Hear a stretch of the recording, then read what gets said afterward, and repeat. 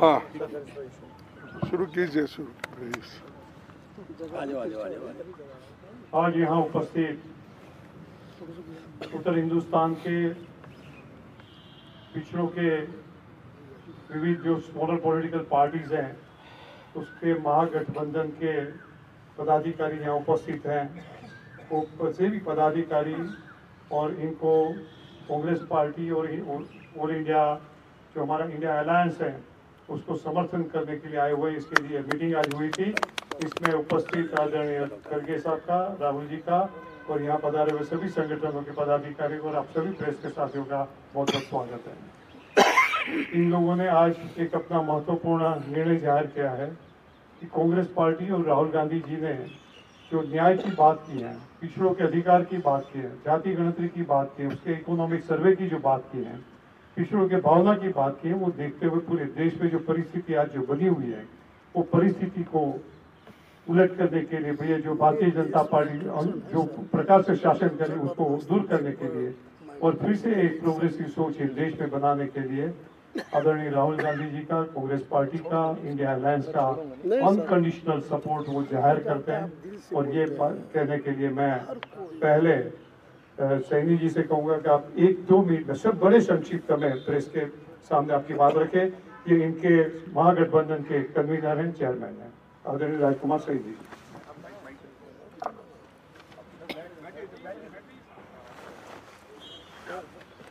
आज प्रेस के सभी बंधुओं और हमारे, जिसको हम बहुजन समाज कहते हैं, जिसमें पाल, गडरिया, निषाद, कोयरी, आज लगभग कोई जाति ऐसी नहीं है जो बहुजन समाज में आती है। सभी के अलग अलग क्षेत्र में, उत्तर भारत के अंदर एक राजनीतिक दल बने हुए थे।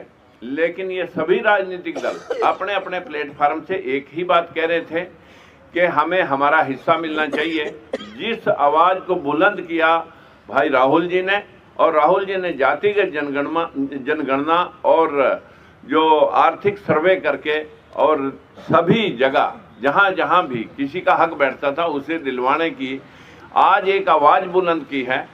हमें लगा कि अगर हम आज एक कोई भाई हमारा कांग्रेस की जो कभी बात हुआ करती थी और उससे चिटक करके जो लोग दूर हो गए थे, अंबेडकरवादी, फूलेवादी, आज वो पुनः लौट करके पूरा बहुजन समाज अपने अपने सभी राजनीतिक दलों का एक भारतीय महागठबंधन, पिछड़ा, पिछड़ों का एक भारतीय महागठबंधन, जिसको हमने प्रेजेंट करने के लिए जिसके सामने हमारे बहुत ही ज़्यादा सराहनीय मैं कहूँगा हमारे बावरिया जी, दीपक जी ने बहुत प्रयास किया और आज हमें इस मकाम पे ला करके आपको बात कहने का मौका मिला कि हम सासर्थ समर्थन इंडिया अलायंस को कर रहे हैं और हमारी कोई अपनी कंडीशन लेकर के हम आज आपके बीच में नहीं आए। जो जहाँ उचित होगा वो उसको हमारा ये गठबंधन जो इंडिया अलायंस है और हमारे लोग जो मिल करके इस देश के अंदर जो ये अंधविश्वास और पाखंड का जो सिस्टम चल रहा है, इसे हटा करके वही धर्मनिरपेक्ष राज्य की स्थापना करके सभी को बराबरी का हक देने के लिए कटिबद्ध हैं। यही बात हमारे इंडिया गठबंधन के नेताओं ने कही है और यही काम हम कर रहे थे। तो क्यों अलग अलग प्लेटफार्मों पे खड़े होकर के हम ये काम करें?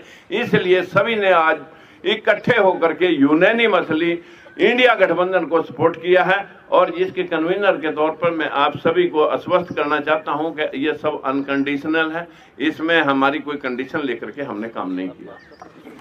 बहुत बहुत धन्यवाद आज ये हमारे बीच में जो संगठन है उसमें मुख्य तौर पे जो मुख्य तौर पे जो है लोकतंत्र सुरक्षा पार्टी बहुजन मुक्ति पार्टी भीमराव अंबेडकर जी की जो पार्टी है शिवशिक इंकलाब पार्टी स्वतंत्र जनता पार्टी और इसके अलावा 25 से 30 और संगठन भी जो है पॉलिटिकल स्मॉलर पार्टीज़ हैं वो ये आज अब साथ में मिलकर कांग्रेस पार्टी को उसका सपोर्ट डिक्लेयर किया ऑलमोस्ट अबाउट थर्टी पार्टी।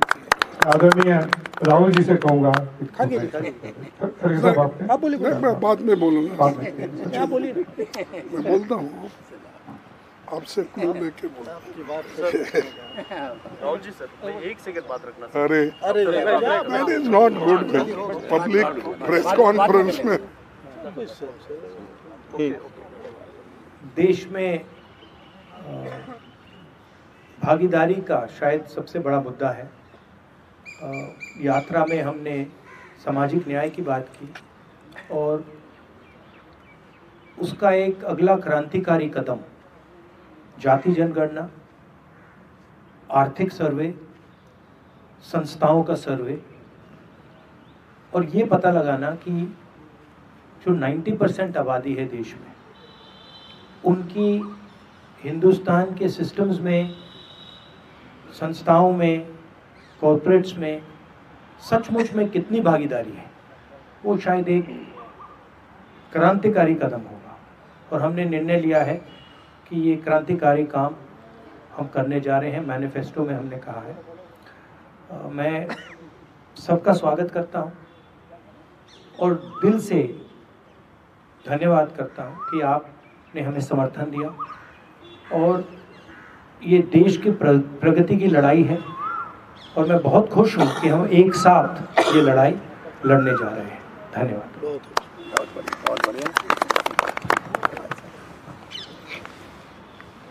सम्मानीय राहुल गांधी जी, राजकुमार सैनी जी, तमाम उनके साथीगण और हमारे पार्टी के जनरल सेक्रेटरी बाबरिया जी। मैं ज़्यादा कुछ कहना नहीं चाहता कि अभी सैनी जी और राहुल गांधी जी ने बताया है और इन्होंने स्वयं प्रेरित होकर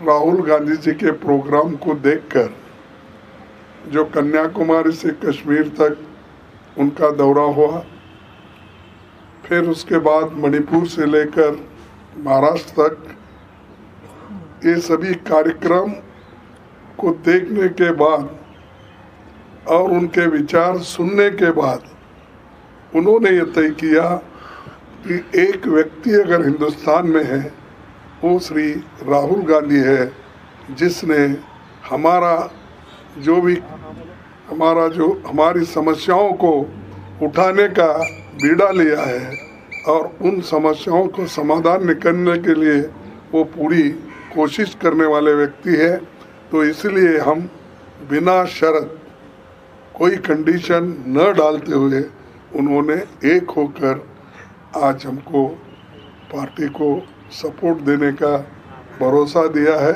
इसलिए मैं उनका, उनको धन्यवाद देता हूँ और वो आगे बढ़कर ये देश के लिए, सिर्फ़ कांग्रेस के लिए नहीं, डेमोक्रेसी बचाने के लिए, लोकतंत्र को बचाने के लिए और सारे जनता के, जो इस देश में 135 करोड़ लोग उनके हकूक की हिफाजत के लिए वो एक होकर आए हैं और फिर से एक बार मैं दिल से उनका स्वागत भी करता हूँ और धन्यवाद भी देता हूँ। थैंक यू राहुल गांधी, जिंदाबाद।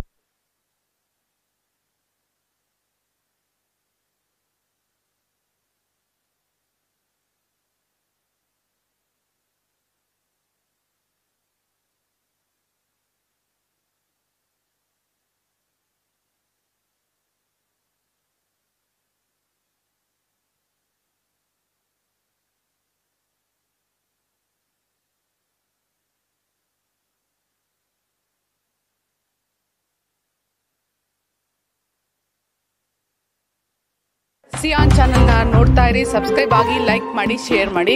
ಮುಕ್ತ ಪತ್ರಿಕೋದ್ಯಮವನ್ನು ಬೆಂಬಲಿಸಿ. ನಮಸ್ಕಾರ.